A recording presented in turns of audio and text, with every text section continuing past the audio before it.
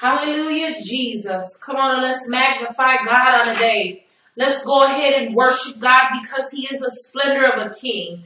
We magnify you, God. Oh, Shatarasana, God.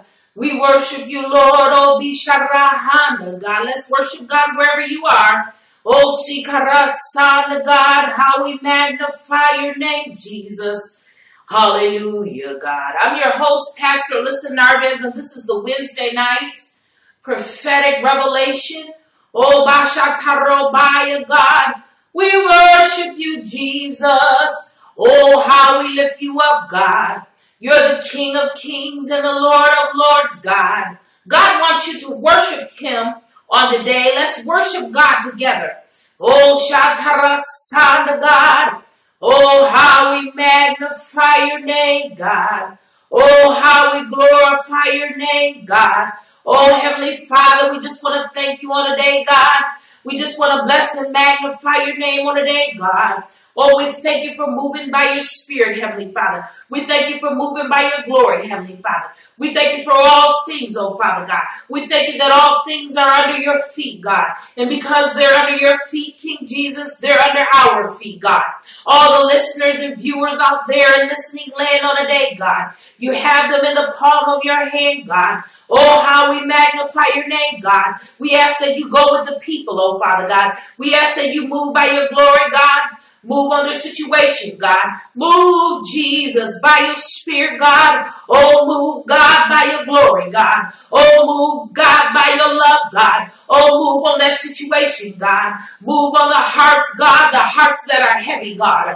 Those that feel as though they have no might, God. Move by your glory, God. Oh, move on every situation, every broken vessel on the night, God. Every broken vessel, every broken mind. Hallelujah, God. Touch and deliver even right now, God. In the mighty name of Jesus, God. Send a hyper release of healing, God. Oh, move by your glory, God. Oh, we pray for the inner body of the soul of the being, God. Oh, touch and heal even right now, God. You all know that's all that's going on inside of the body, God. Oh, heal, God. Heal diabetes. God. Heal cancer, God. Heal depression, God. Heal low self-esteem, God. Oh, heal, God. Heal spinal injury on a day, God. Oh, heal paralysis on a day, God.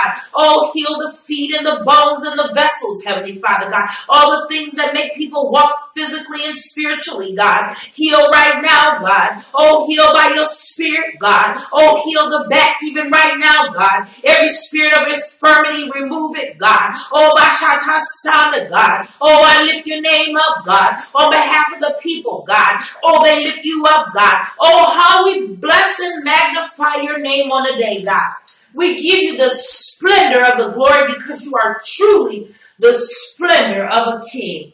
Hallelujah and amen. You know, God has something very special, hallelujah, in store for you. And I'm just so excited because my day today was filled with so much activity. Amen. I have a young daughter who is five that turned six on six years old on a day. So her birthday was today. Amen. And I mean to tell you, hallelujah, God just made everything come together. Hallelujah. There were some things that, hallelujah, God, that I was waiting for, amen, in order to make her day special. And I mean to tell you that God came in the last minute of the last second of the last hour, men and women out there. You know, we serve a God that is always on time.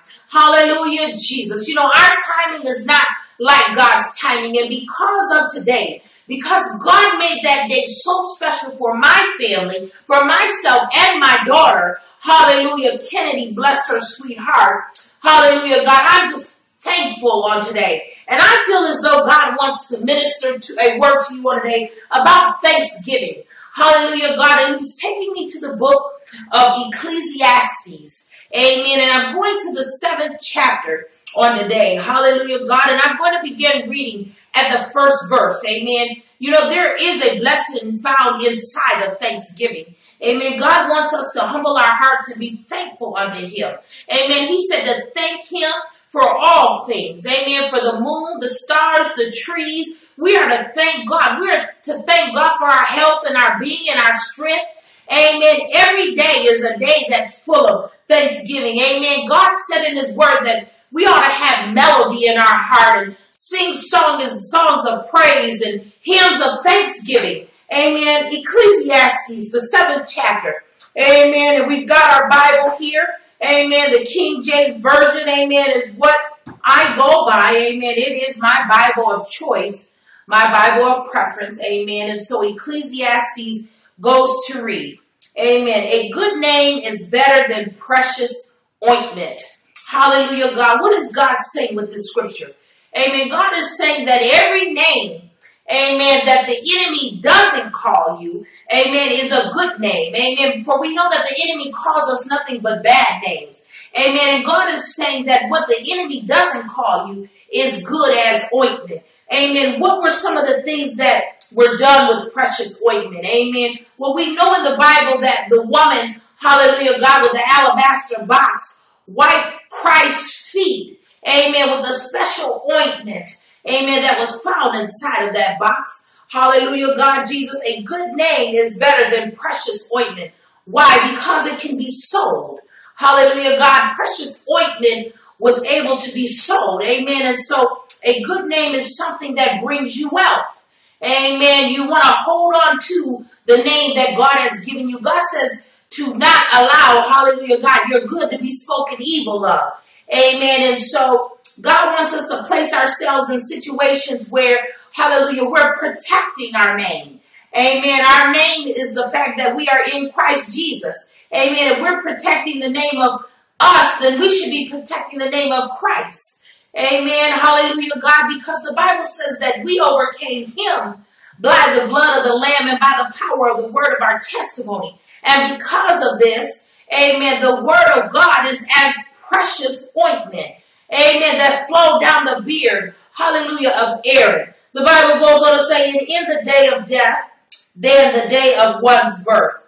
Hallelujah, God Jesus. It is better to go to the house of mourning than to go to the house of feasting, for that is the end of all men, and the living will lay it to his heart. Sorrow is better than laughter, for by the sadness of the countenance, the heart is made better. Hallelujah, Jesus. Thanksgiving. This scripture is saying when we can find a place of thanksgiving, it will give us the peace that we need in times of turmoil, in times of sadness, in times of challenges. Amen. We're all challenged in life. Amen. I have faced, definitely have faced my challenges. Amen. And I'm sure that some of you are out there facing your challenges also.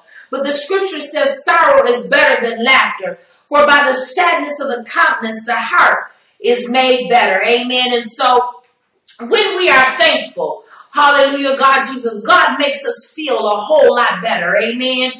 This is why, hallelujah, I feel a prophetic revelation. This is why we are to give, amen, a spirit of thanksgiving because it gives us, hey, amen, a garment of praise. Amen. It gives us, uh, it gives us joy. It gives us peace. Amen. This is why we put on a garment of praise when our spirits are heavy. Hallelujah, God. The heart of the wise is in the house of mourning, but the heart of fools is in the house of mirth. It is better to hear the rebuke of the wise than for a man to hear the song of fools. For as the crackling of thorns under a pot, so is the laughter of the fool. This also is vanity. Amen. And God is saying in the scripture to find wisdom in all the things that you do. Amen. For when you find wisdom, amen, you will find thanksgiving. For it's hard to be thankful over things that are not wise.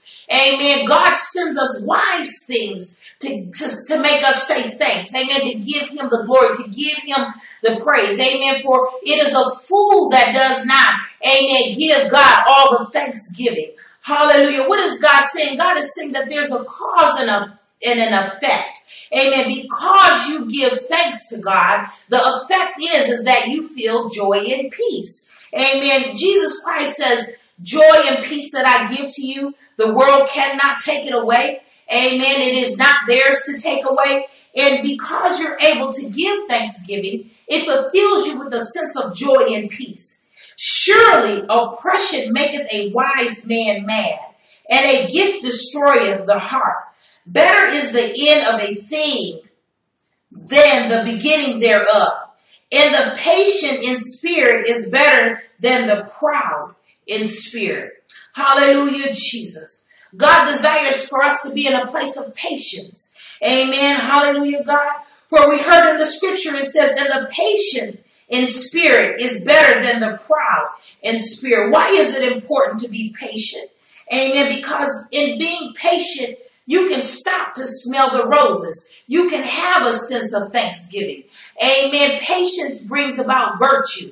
And virtue brings about wisdom. Amen. And they all yield the peaceable fruit. Amen. This is why God, amen, suggests that it is better to be patient in spirit than to be proud in spirit. He says, Be not hasty in thy spirit to be angry, for anger resteth in the bosom of fools. Say not thou that is the is the cause that the former days were better than these, for thou dost not inquire wisely concerning this. You know, yesterday had its day, yesterday had its place. We're not going back to yesterday anymore. Amen. We are here. This is a new day, a new time, a new place, a new reason to be thankful. Amen. God is saying in this last day, amen, He's saying to live for today. Don't live for what happened yesterday. For yesterday is gone and you can never bring it back. A lot of people carry a lot of doubt and condemnation because they're still in the mindset of yesterday. Amen. What happened last year? What happened five years ago? What happened ten years ago? But in but but but God is saying that we ought to give him thanks for today. Hallelujah, Jesus. The Bible goes on to say, wisdom is good with an inheritance, and by it there is profit to them that see the sun. For wisdom is a de- defense, and money is a defense. But the excellency of knowledge is that wisdom giveth life to them that have it. Amen. God is saying that the wealthy become wealthy through the word of wisdom. Amen. For hallelujah, God, you can, amen, start something, but hallelujah, God, it takes the wisdom of God to keep it. Hallelujah. If you've ever heard of people getting a large lump sum of money and then they turn around five or ten years later and amen, they're destitute and they're out on their luck. Amen. It's because with the wisdom of God was not applied. Amen. And I'm not talking this this scripture is not talking about a, a carnal wisdom, but this is a supernatural wisdom. Amen. The beginning to know God is the beginning of wisdom, the Bible declares in Proverbs. Hallelujah, God Jesus. And when we get to know God, Oh, we get to know the supernatural wisdom that God carries. Amen. This is the wisdom that gives us the knowledge to get wealth. Amen. The Bible declares, amen, that God giveth the knowledge to gain wealth, to get wealth, to keep wealth, to have wealth. Amen. Hallelujah. It's, it's done through thoughts and ideas and, and open doors. Amen. Thinking of things that no one has ever thought of before. Hallelujah, God. God will give you a wisdom. Amen. And He'll give you hallelujah, God, an originality that no one else has ever done it before. No one else has ever thought of the idea before. Amen. Who would ever thought that it would have been so successful for a company to start a business based on selling coffee?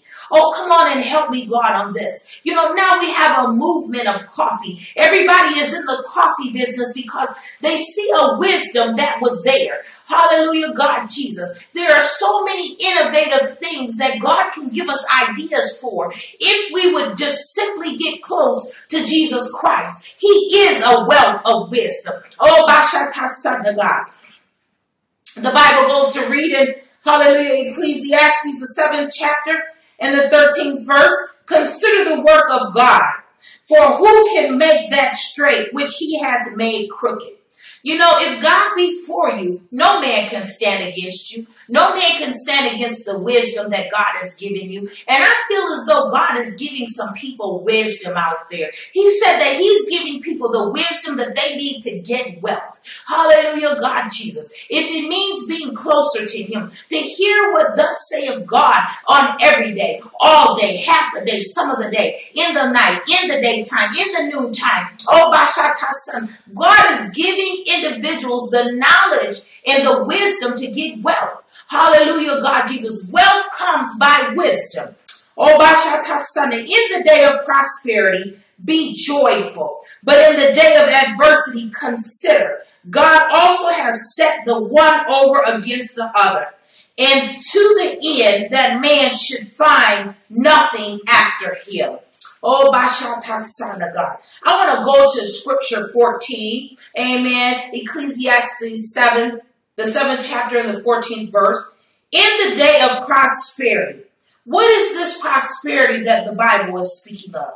There's prosperity in our lives. Amen. There is a financial prosperity. Amen. There's a spiritual prosperity. Amen. There's a hopeful prosperity. Amen. And then there is the prosperity of God.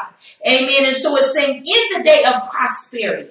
Prosperity means to get wealth, to, to gain. Amen. Prosperity means to take an advantage of. Amen. To get, get ahead, full speed ahead. And God is saying in the day of that, in the day of your gain, in the day of your wealth. Amen. In the day of the day of, of spiritual gain, of wealth, spiritual wealth, in the day of prosperity or spiritual wealth, be joyful. God wants you to make a joyful noise unto him. He said, make a joyful noise unto me, all ye lands. Enter into his gates with thanksgiving and praise. Hallelujah, God Jesus. We just want to praise God and magnify him and lift him up because this is the thing that leads to wisdom. This is the thing that leads to, to knowledge. This is the thing that leads to joy. The Bible goes on to say, God also has set one another, one over against the other, to the end that man should find nothing after him. The last scripture goes to read, All things have I seen in the days of my vanity. There is just a man that perishes in his righteousness, and there is a wicked man that prolongeth his life in his wicked house. We know, I believe that God sent me by to let you know on a day. I know that it's just a Wednesday on a day. But when you get this message down in your spirit, you may be listening to it on a Thursday, Friday, Saturday, or Sunday. But God is speaking the word today on a Wednesday, a Wednesday night to be exact. And God sent me by to let you know on today um, that there is a such thing called the prosperity gospel. And God is saying that we have the ability to advance. We have the ability to advance in His wisdom. We have the ability to advance in His in His knowledge. We have the ability to advance in His wisdom. God sent me by to let you know tonight uh, that you do not have to be down and out, uh, that you can prosper on every hand, that you can have all that you need. You can have a spiritual prosperity. You can have a financial prosperity. You can have an advancement of the mind in the older age that led to prosperity. Oh, help me God on the day. God is saying just because you are in your midlife, um, some people call it a midlife, oh, but God is saying even if you're in your midlife, there's still enough time for you to have what is called this prosperity gospel. Oh, son of God, for this is what Solomon spoke about. Solomon spoke and preached about the prosperity gospel. And Solomon said that there is another way. Solomon said that there's nothing new up under the sun. Solomon said that God gave him all the knowledge and the wisdom. For one day, God went to Solomon and he said, Solomon, uh, ask me what thou wantest of me. Uh, and Solomon said, um, give me the wisdom to lead your people. See, God is looking to bless you in the prosperity gospel when you don't ask for prosperity. God is looking to bless you uh, in the prosperity gospel when you don't have your hand out expecting finances, uh, money, houses, and cars. Uh, but when have a desire to get in front of the presence of the true and living God, Jesus, King of kings and Lord of lords, when you have a desire to get in front of the Comforter, I said when you have a desire to get in front of uh, the Rock of Judah, oh, rock us God on the day, when you have a desire to get in front of, oh, Jehovah Jireh, He'll be more than your provider. He'll be your wealth of prosperity gospel. See, you don't have to run after riches and gold. God has all the riches and gold. If you would draw nigh unto him, God said to chase after him with all your heart. God said to run after righteousness and then these things will follow. If you have a desire to get in front of God, the prosperity gospel will follow you. See, what we have to understand is a lot of people preach about the prosperity gospel, and I hear a lot negative comments about the prosperity gospel, but it said it right here in the word. If we followed after God, the prosperity would chase after us. See, the prosperity gospel is something that you do not have to run after. It will find you. For God sent me money on a day, uh, money that I needed for my daughter to make her day a very special day. And it came right in the nick of time. This is the type of God that we serve. God has, God God knows what we have need of before we even ask. This is why he says don't beg like a vagabond. I already have, know that you have a need of. I know you have a need to pay the light bill. I know you have a need to pay the car payment. I know you have a need to pay the mortgage. I know you have a need for a, a, a, a low interest loan. I know that you have a need, oh my son, of God, to pay off your school credit. I know that you have a need, oh my son, of God, to get rid of the bills. See, God knows what we have a need of. He knows everything about us. He says that our hairs are numbered. So why wouldn't God know what we need in our bank accounts? Why wouldn't God know what we need concerning the prosperity gospel? Why wouldn't God know that the prosperity gospel will find us when we follow him? And this is the wisdom that God is teaching on today. God is showing that in thanksgiving, God will send you everything that you need. But have a spirit of thanksgiving. Have a spirit of expectancy. Expectancy that, hallelujah, because you praise and worship God, He's going to reward you because He is a rewarder of those that diligently seek Him. And God sent me by to let you know on today that you do not have to worry about the bills because he is taking care of the bills and he's taking care of you. I've been your host, Pastor Allyssa Narvaez. I do have a book that is available. It's called 30 Days of Dreams and Visions. You can get the book at Amazon.com. You can also get the book on the website, AlyssaNarvaez.com. Hallelujah, God Jesus. This is a CD called Understanding Revelations. Please get it. You've got to get this CD. It is phenomenal. There are six CDs in this in the set.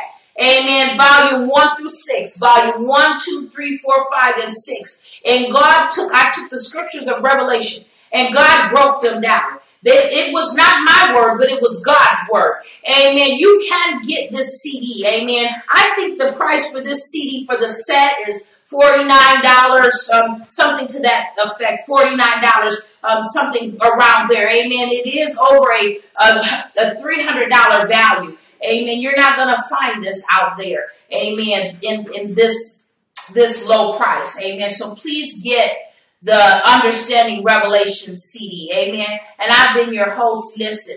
Prosperity will find you when you follow God. May the grace of God be with you and God bless and keep you. Remember, tell someone about Jesus because he is Lord and he is the Savior of us all. God bless you. Bye bye.